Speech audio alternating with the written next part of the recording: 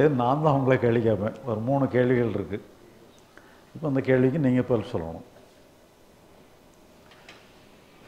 அதாவது ஒரு குருநாதர் ஒரு சிஷ்யன். அந்த குருநாதர் வந்து ஞானி. அந்த சீடன் வந்து அவர்கிட்ட ஞான பாடம் பற்றுக்கிறதுக்காக போயிருக்கலாம் இப்போ இவரும் பாடங்கள்லாம் கற்றுக் கொடுத்து எல்லாம் இது பண்ணி அந்த சீடனும் ஞானத்தை தெரிஞ்சுக்கிட்டான் ஞானி ஆகிட்டான் அப்போ அந்த குருநாதர் சொல்கிறாரு எப்போ நீனும் ஞானி ஆகிட்டா நானும் ஞானி ஆயாச்சு. இப்போ நாம் ரெண்டு பேரும் சேர்ந்தே இருக்கலன்னா லாபம்? நீ ஓ ரோட்டில் போய் உன்னுடைய உன்னால் முடிஞ்ச நல்ல காரியங்களை பண்ணு.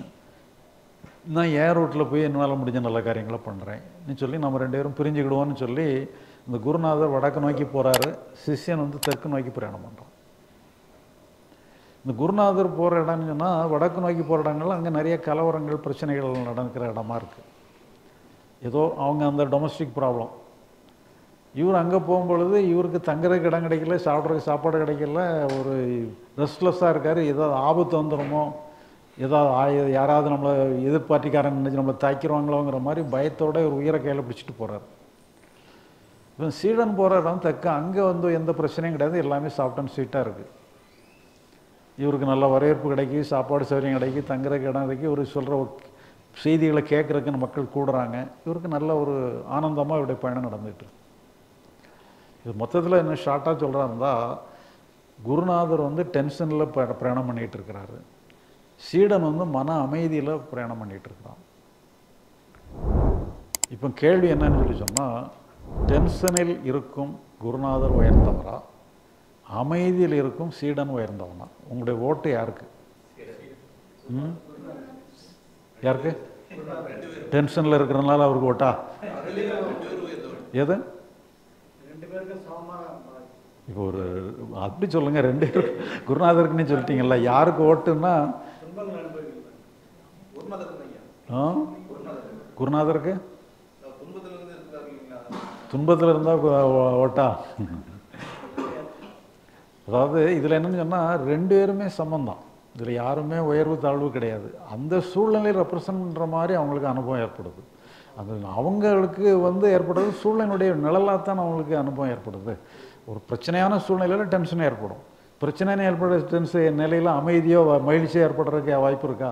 அது அப்படி தான் ஏற்படும். அதுதான் அப்படி தான் இருக்கும். அது மாதிரி சீடன் வந்து டென்ஷன் இல்லாத சூழ்நிலை அமைதியான சூழ்நிலை போவாங்க அமைதி ஏற்படும். அப்போ இது வந்து சூழ்நிலை தான் வித்தியாசமாக இருக்கும் இல்லையோ? அவங்கள பொறுத்தளவில் அவங்களுக்கு அந்த சூழ்நிலையை ரெப்ரசன்ட் பண்ணுற கண்ணாடி தானே அவங்க. சூழ்நிலையில் இந்த எந்த யாரும் வந்து கண்ணாடி முன்னால் இருக்காங்களோ அவங்கள தான் அந்த உருவத்தை காட்டும். அது வந்து எனக்கு பிடித்தமானவங்க நின்னா தான் உருவத்தை காட்டுவேன் பிடித்தமில்லாதவங்க உருவத்தெல்லாம் காட்ட மாட்டேன்னு கண்ணாடி சொல்லாது. அதனால் இது வந்து ரெண்டு பேருமே சம்பந்தம் அதில் ஒன்றும் வித்தியாசம் கிடையாது. இப்போ இது உதாரணமாக இப்போ வந்து ஒருத்தர் வந்து பணத்தை எடுத்துகிட்டு போகிறார் பேக்கில் அந்த பணத்தை ஒருத்தர் பிடிங்கிட்டு போயிடுறாரு. இது சரியான செயலா? சரியான செயல் இல்லை. ஏன்னா அடுத்தவங்களுடைய பொருளை அபகரிக்கிறது சரியான செயல் இல்லை. ஒருத்தர் வந்து வறுமையில் வாடிட்டு இருக்கிறாரு. அந்த வறுமையில் வாடுறவருக்கு நம்ம பண உதவி பண்ணுறோம் இது சரியான செயலா? தப்பான செயலா? சரியான செயல். அப்போ செயல்களை பொறுத்த அளவில் நல்ல செயல்கள் உயர்ந்த செயல்கள் தாழ்ந்த செயல்கள் இழிந்த செயல்கள்னு சொல்லி நிறையா வித்தியாசங்கள் இருக்குது செயலை பொறுத்தல ரெண்டு பிரிவு இருக்குது இப்போ மன உணர்வுகள்லையுமே எத்தனையோ உணர்வுகள் வருது. இதில் எந்த உணர்வு உயர்ந்த உணர்வு? எந்த உணர்வு தாழ்ந்த உணர்வு?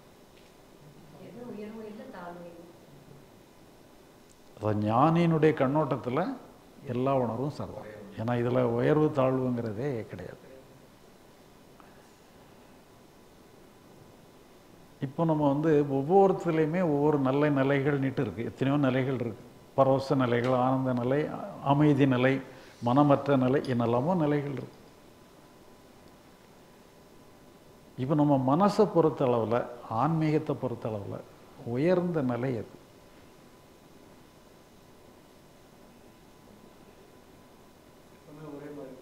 ம்?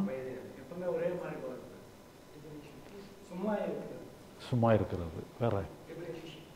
லிபரேஷனில் இருக்கிறதா? சரி வேற. ம்? சமநிலையோடு இருக்கிறது வேற. கொஸ்டின் சரியாக கேட்கலையா? அதாவது இப்போ இப்போ ஆன்மீகத்தில் எல்லாத்துலேயுமே உயர்ந்த நிலை தாழ்ந்த நிலைன்னு சொல்கிறோம் ஆன்மீகத்தில் உயர்ந்த நிலை அது. இப்போ நீ நீங்கள் எப்படி இருந்தீங்கன்னா அது உயர்ந்த நிலை. என்ன நிலையோடு இருந்தீங்கன்னா அது உயர்ந்த நிலை. இப்போ ஆன்மீகம்னு சொல்கிறோம் நம்ம இந்த ஆன்மீகம் மன ரீதியான அனு அனு அனுபவங்களை தான் நம்ம உயர்ந்த நிலைகள்னு சொல்கிறோம் இப்போ இந்த இதில் வந்து நம்ம ஆன்மீகத்தை பொறுத்த அளவில் அல்லது மன அம்சங்களை பொறுத்த அளவில் உயர்ந்த நிலை எது? ஆ? எது? எதுனாலும் ஒரே மாதிரி ஏற்றுக்கிட்டு சமநிலை. ஏமா கேள்வி புரிஞ்சிட்டல நீங்கள் பதில் சொல்லுங்கள்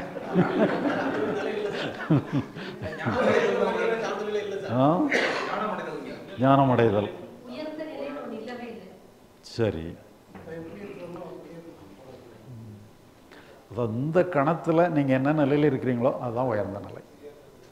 இந்த வினாடி இந்த வினாடி தான் சூப்பர் நீங்கள் இதை கம்பேர் பண்ணி அதோட சரியில்லை இதோட சரியில்லை இது இப்படி மாறணும் அது அப்படி மாறணுங்கன்னா இருக்கிற இந்த கணத்தை நீங்கள் புறக்கணிக்கிறீங்க.